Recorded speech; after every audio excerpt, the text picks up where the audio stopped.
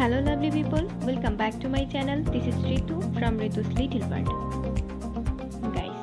এই যে আপনারা ছবিটি দেখছেন, এই ছবিটি হলো একটি ১৩ বছর বয়সী মেয়ের মমি।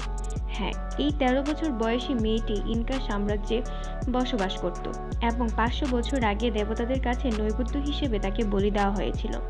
এটি ভালোভাবে সংরক্ষিত করা হয়েছে কারণ তিনি ঘুমের সময় হিমায়িত হয়েছিলেন এবং এই সমস্ত সময় সমুদ্রপৃষ্ঠ থেকে ছ হাজার মিটারেরও বেশি শুষ্ক ঠান্ডা অবস্থায় রাখা হয়েছিল। অন্য কোনো চিকিৎসার প্রয়োজন ছিল না। মাত্র তেরো বছরের এক কন্যা, যাকে নির্মমভাবে নরবলি দেওয়া হয়েছিল।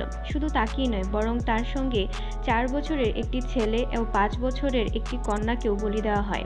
পাঁচশো বছর আগে নরবলির শিকার হয় এই তিন কন্যা। প্রকৃতি তাদেরকে মমি করে রেখেছে আজও। ঠিক যেন বসে থাকা অবস্থায় গভীর ঘুমে ঢলে পড়েছে তারা। ঘুমন্ত অবস্থায় বরফে শরীর জমে গিয়ে মৃত্যু হলে যেমন দেখায়, ঠিক তেমনই দেখাচ্ছিল তাদের। ওই তিনজনের শরীরের ভেতরের অঙ্গ প্রত্যঙ্গগুলোতেও সেভাবে পচন ধরেনি। একজনের হৃৎপিণ্ডে আবার এত বছর পরেও জমাট বাঁধা রক্ত মিলেছে। এর কারণ হিসেবে বিশেষজ্ঞরা জানিয়েছেন, তাদের শরীরে ডিহাইড্রেশন শুরু হওয়ার আগেই তারা মমি হয়ে গিয়েছিল। এই মমির সন্ধান মেলে আটাকামা এলাকায়। এটি বিশ্বের সবচেয়ে শুষ্ক অঞ্চল। আর শুষ্ক বায়ুর কারণে পাঁচশো বছর ধরে দেহগুলো সুন্দরভাবে সংরক্ষিত আছে। উনিশশো নিরানব্বই সালে আন্দিজ পর্বতের মাথায় লুলাইলাকোক থেকে মাটি খুঁড়ে বের করা হয় এই একটি মমি এরপর আরও খুঁড়ে দেখা মিলে একটি নয়, একসঙ্গে তিনটি মমি তিনজনেরই বয়স খুব কম। মৃত্যুর সময় সবচেয়ে বড়জনের বয়স ছিল ১৩ বছর। বাকি দুজনের যথাক্রমে চার এবং পাঁচ। প্রত্নতত্ত্ববিদদের মতে, লুলাইলাকোর এই তিন মমি আসলে নরবলির নিদর্শন। তাদের মধ্যে ১৩ বছরে নাবালিকাকে লুলাইলাকো কুমারীর নাম দেওয়া হয়। তাকে মূলত ঈশ্বরের কাছে উৎসর্গ করা হয়েছিল এবং বাকি দুজনকে রাখা হয়েছিল তাকে সঙ্গ দেওয়ার জন্য। বন্দী অবস্থায় দুর্গম ওই স্থানে একটু একটু করে শক্তি হারাচ্ছিল তাদের শরীর। বসে থাকা অবস্থাতেই অজ্ঞান হয়ে পড়ে তারা। ওই অবস্থাতেই মৃতপায় শিশুদের মাটির পাঁচ ফুট নিচে কফিন বন্দি অবস্থায় রাখা হয়েছিল এবং তাদেরকে নরবলি দেওয়ার উদ্দেশ্যে সেখানে রাখা হয়।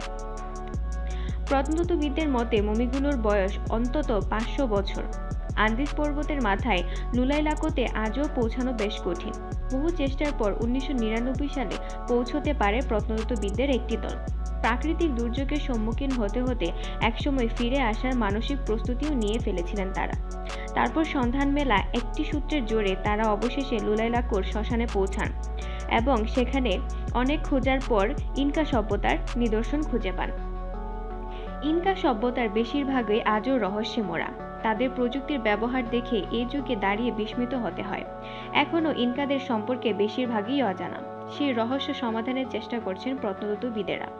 একটু একটু করে আধুনিক সমাজের কাছে মেলে ধরেছেন ইনকাদের জীবনযাত্রা। তারই অন্যতম হল নরবলি। ইনকাদের মধ্যে এই প্রথার প্রচলন ছিল। নরবলি অর্থাৎ ঈশ্বরের কাছে কোনো পবিত্র প্রাণ উৎসর্গ করার রীতি।